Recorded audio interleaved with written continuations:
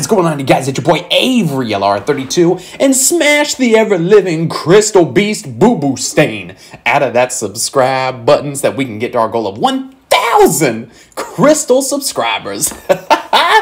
so, ladies and gentlemen, yes, I am not joking in this title.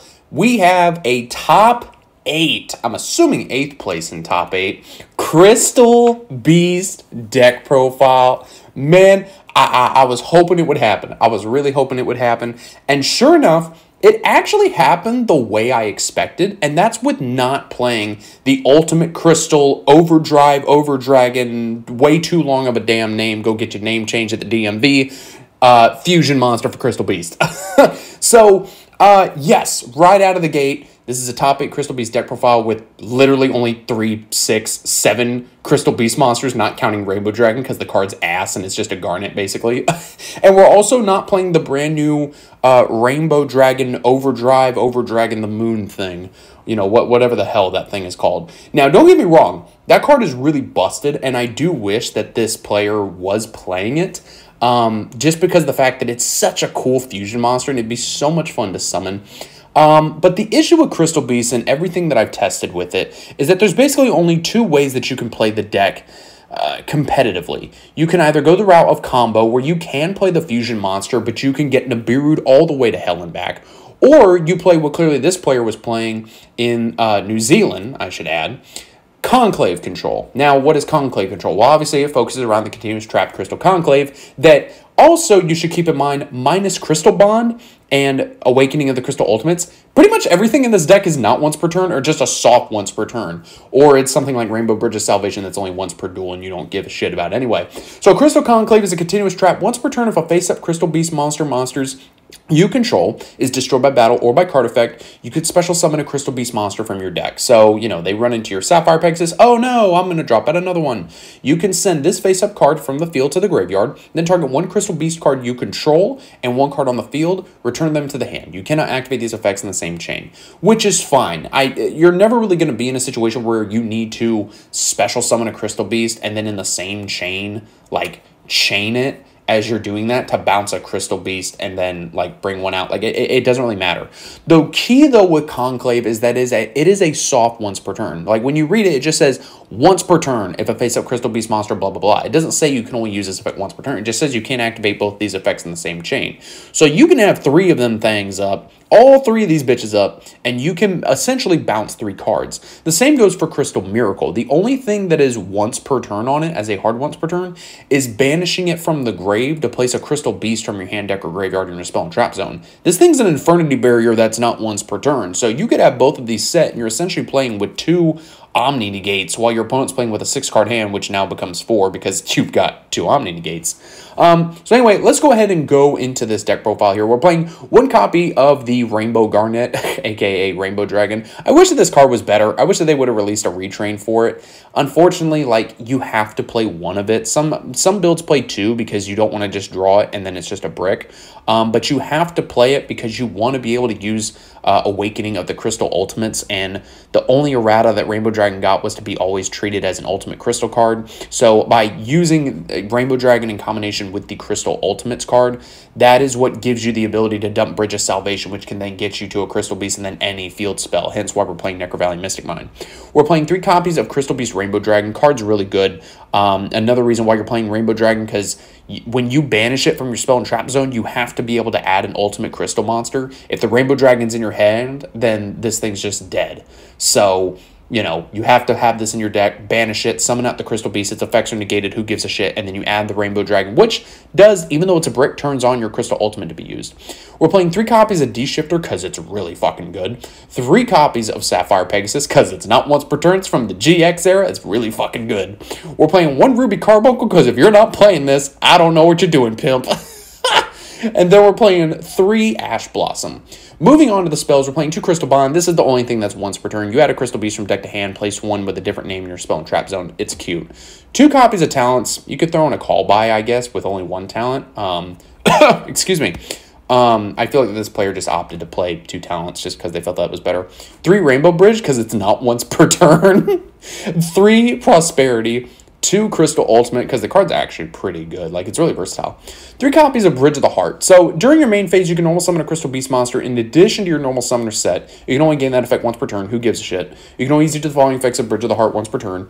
During your main phase, you can destroy a Crystal Beast card you control or in your hand, and if you do, add a Crystal Spell or Trap from your deck to your hand. If a Crystal Beast card or cards is placed in your spell and trap zone, even during the damage step, you can target a card your opponent controls, return both that card and this card to the hand. So in combination with Conclave, you're essentially bouncing like two cards, which is you would think is not broken because that's basically like what the new Exodia cards do. They just bounce shit to the hand like a compulse. But you got to keep in mind like that's that's really good. Like you're, you're going up against tier and like they're trying to get their field spell established and like they want to use the effect of pop and you just shotgun the bounce and then they don't get the pop. Like and little interactions like that that people aren't prepared for can really throw people off.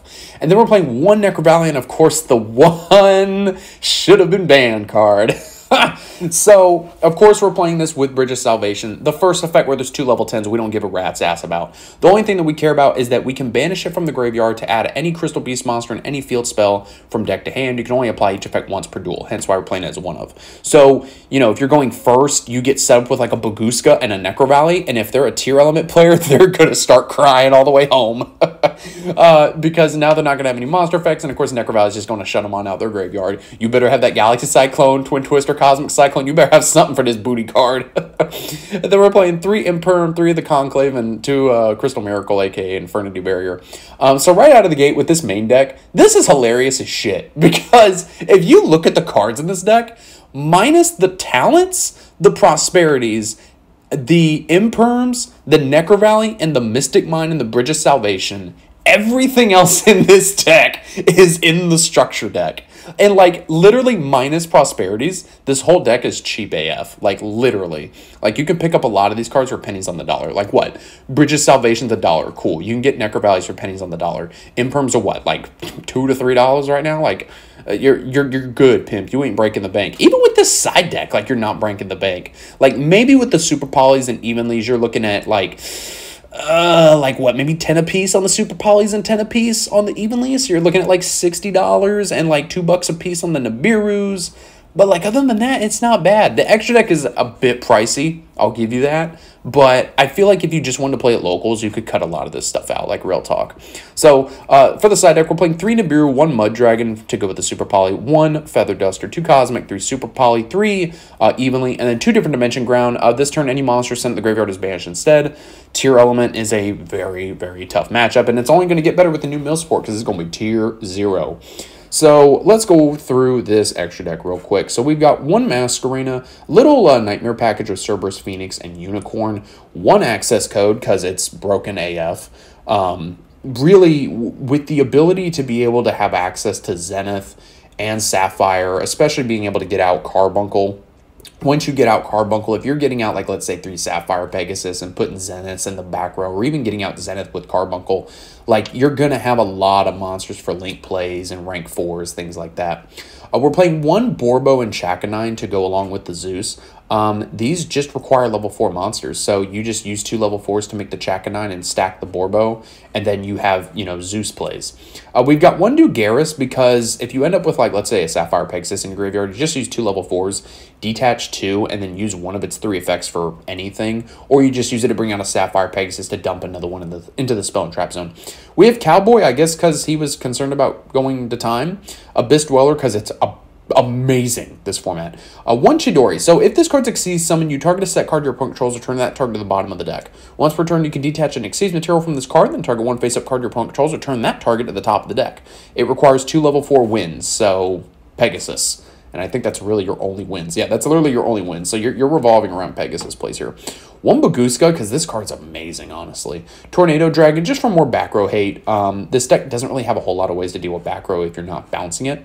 And then Zeus, and then, of course, Garura, uh, because you have Super Poly in the uh, side deck. Uh, Garura is just an amazing card. And if you think about it, too, it requires two monsters with the same type and attribute but different names. So like what carbuncle plus sapphire? You attack with both because maybe you're in a weird game state and then you go super poly make Garura and do 3000 so that's that's not bad. Cards cards really good. So uh really quick here before we run out of time Let's do some quick test hands. One, two, three, four, five. This isn't terrible. So you set the Imperm and the Miracle. You have Talents in hand in case they decide to hand trap you. Uh, you've got Rainbow Bridge to add any Crystal Spell or Trap. So we're talking Conclave. You can't add Bridge of the Heart, but you don't care because that just gets you to Bond or Ultimates, but we didn't open up a Rainbow Dragon. So we can just go Bond and just start our engine from there. That gets us to Sapphire Pegasus. That can throw a Zenith into the back row. And uh, woo, yeah, once you get that, you're looking good. You've got the miracle for the Omni negate. You've got a monster negate. If the opponent hand traps you, you can just rip a card out of their hand. Then they're what? With these two negates, with the Imperm and the Miracle, they're basically playing with what? A two to three card hand at this point? Woo wee! Ooh, this this this deck looks good. It looks so cool. now, really quick before I end this video, I know a lot of people are going to be asking, Avery, why is this guy not playing the fusion? Here's the thing with the fusion that I've seen in all these damn replays I'm seeing on YouTube. Is it cool to end on a board of Apollousa with a Phoenix pointing to it so that it can't be destroyed by battle, even though that's really irrelevant in today's format?